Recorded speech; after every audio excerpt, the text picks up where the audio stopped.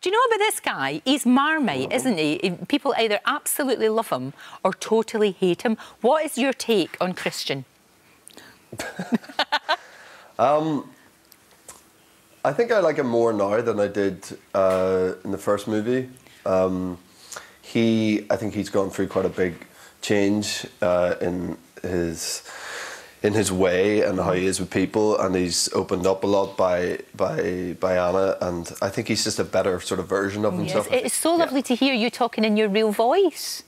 Because it's such a beautiful accent, and we don't hear what, that when you're being voice Christian. Do you want me to do? no, I love that. No, keep that one. That one's that one's the best one. That's for sure. Now, obviously, you've got to uh, do some some yeah. quite raunchy scenes. Of course, you do. And they, they tell me that your your wife hasn't mm -hmm. seen the films. Your wife doesn't. She's not really wanting to see you like that. Yeah, she hasn't. No, um, she's very supportive of them all. She's been at every you know premiere along the way and was there for the entirety of filming all three of them. Yeah. Well, she doesn't have to see the movies because she's yeah. got the real thing right there, so she doesn't actually have to exactly. see it. You know exactly. this, which is fine. Now, look, you sing yeah. in the movies because you, you used to be in a band. You were in a really good band, so you and you're you're singing on this. Yeah, that's how we first met, wasn't it? My band was on your show. Yeah, I remember. Um, remember. Way back, yeah. Like 10, 10 years ago I more. Um, yeah, I, I do sing. I, I didn't. I in, in the script he sings and he sings a, a Paul McCartney song and uh, I sang it on the day and um, actually you know Sarah McLachlan, you know Canadian uh, singer. Yeah. We were we were we were shooting at her house and um, uh, in Whistler and she did a rendition of a couple of her sort of songs before and it was total like reverie and everyone was just mm-hmm. spellbound by this amazing singing and she sat at the piano and did this and then she finished and everyone was like crying and, and then they were like okay Jamie ready for you now and I was like can everyone leave? Like I cannot bear it. like trying to follow that. Yeah. And I just sort of like pretended to play the piano and, and I, I kind of got through it. I, I don't really remember. I can't I haven't actually heard it um, what I did but there was a plan to have a longer version on the soundtrack, I think, and then they ended up just putting that whatever wee bit we did on the day on. So right. I haven't even heard it. I presume it's not not very good.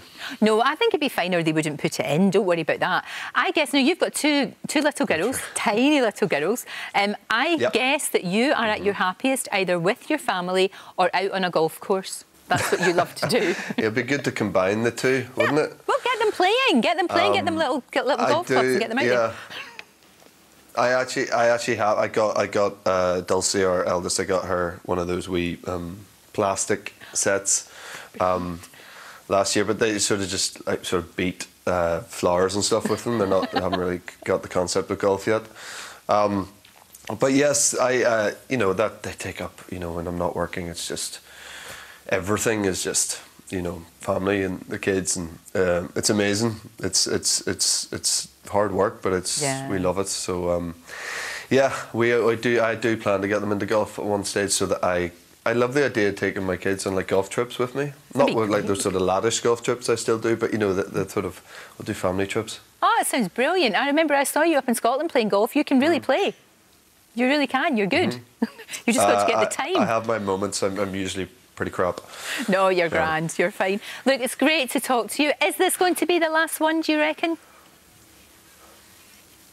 Um, yeah, I think yeah, so. I don't it? think there's any. Uh, I don't think there's any chat. I mean, there's no other books. Erika wrote uh, the first two books again from Christian's perspective. Um, yeah.